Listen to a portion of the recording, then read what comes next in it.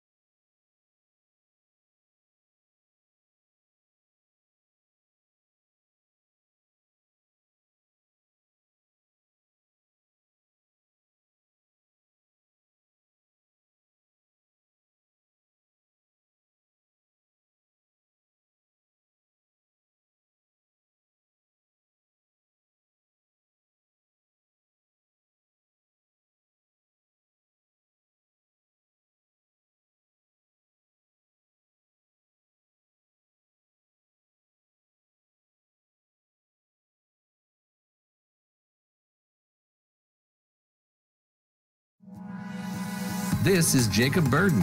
He's an apprentice chef at the Omni Dallas. But before that, he was just like you, a student in Mesquite ISD. Jacob set a goal and then made it happen. Big dreams, big goals, big life.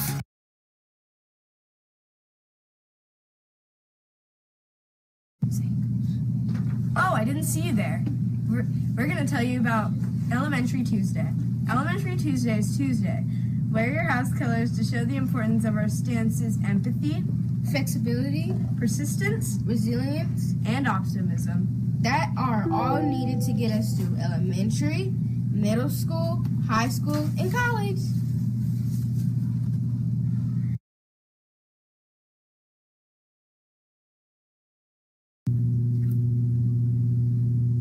Homecoming is Friday the 20th.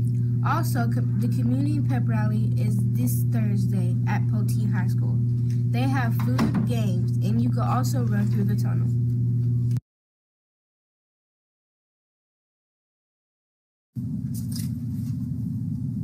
Trash Bash is this Saturday, September 21st, 9 a.m. to noon. It's at City Lake Aquatic Center.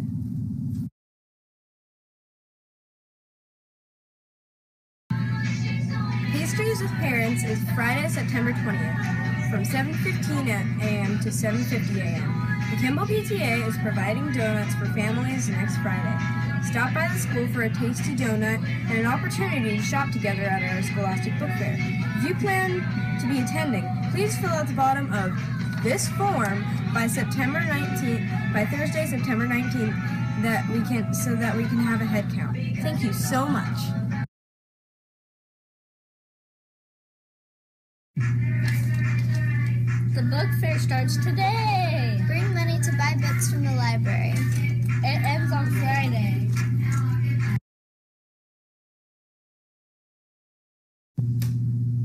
So for today's news, we have Spring Creek. Spring Creek night is October the 21st. Make sure to come try our delicious food. And help our school earn money.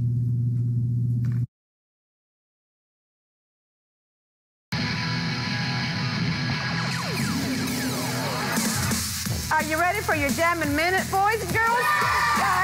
Okay, let's do the windmill now, okay? Count with me. One, two, three, four, five, six, seven, eight, nine, ten. Good job, boys and girls. Let's go mountain climbing now, okay? Let's stretch those arms and legs up. Reach up high, boys and girls. Climb. Three, four, five, six, seven, eight, nine, ten. Okay, hop on left foot, boys and girls, okay? Ready, go.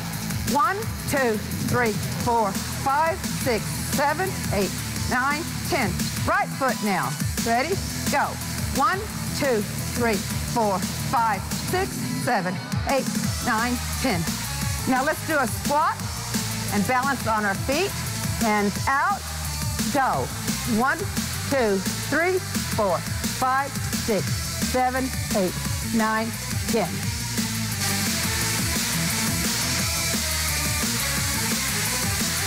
Boys and girls, our healthy tip today is drink plenty of water, okay? If you get real thirsty, you've not had enough water yet. So drink water in sips all day long if you can.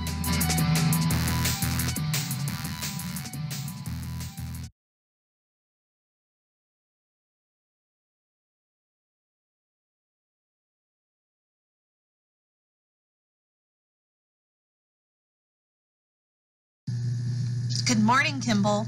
The last chapters we read were very exciting. Not only did we have a storm, we had a robot that almost went over the edge of a cliff, and now she's hiding, or she was hiding in a pine tree cone, and but then it ended with her going into a cave.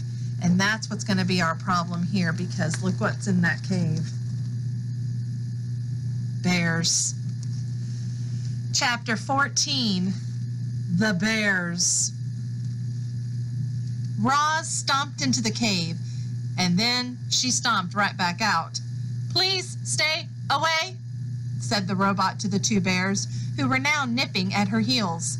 You see, when Roz stomped into the cave, she accidentally woke a brother and sister bear from their morning nap, which is never a good idea.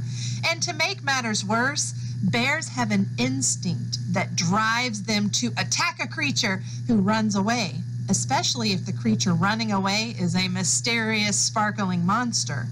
So, as the startled bears watched Roz stomping out of their cave, they really had no choice at all. They simply had to take up the chase.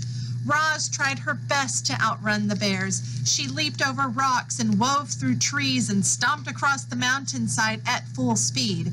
But the bears were young and strong and fast, and the robot still had so much to learn about moving through the wilderness.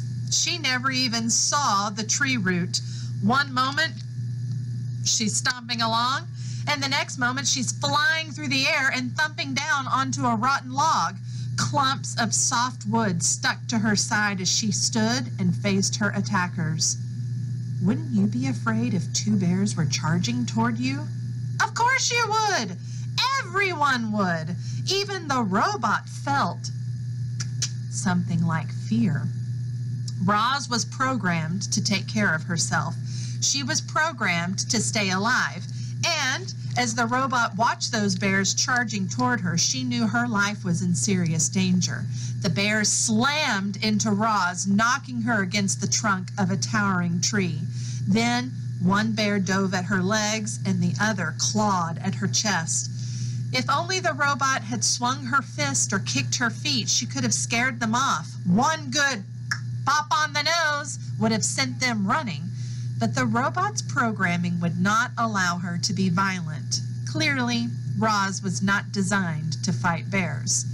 Powerful jaws chomped at her arms. Sharp claws slashed at her face. A massive head rammed her in the chest. Please stay away, said the robot. Rawr, said the sister bear. Rawr, said the brother bear. And then the bears went in for the kill. But the robot had vanished. Chapter 15 The Escape. Using all the strength in her legs, Roz jumped straight up, high into the air, and landed on a tree branch overhead. The tree shook with the sudden weight of the robot, and then thunk thunk. Two pine cones bounced off Roz, and a moment later, thunk thunk. The same pine cones bounced off the bears below. The bears grunted with annoyance, and this gave Roz an idea. The robot's programming stopped her from being violent, but nothing stopped her from being annoying. So Roz plucked pine cones from the nearby branches and then lobbed them down at the bears. Thunk, thunk, thunk, thunk. Each pine cone bounced off its target with annoying accuracy and whipped the young bears into a frenzy. Look how high she jumped. They're down here. Roar, said the sister bear. Said the brother bear. I do not understand you, bears, said the robot. Roz was about to unload a whole armful of annoying pine cones when a distant roar echoed through the forest. Back at the cave, the mother bear was calling for these two, and she did not sound happy. The young bears looked at each other. They knew they were in trouble. But before lumbering home, they glared up at Roz and snorted one last time. More than anything, they wanted that robot. We're going to stop there for today.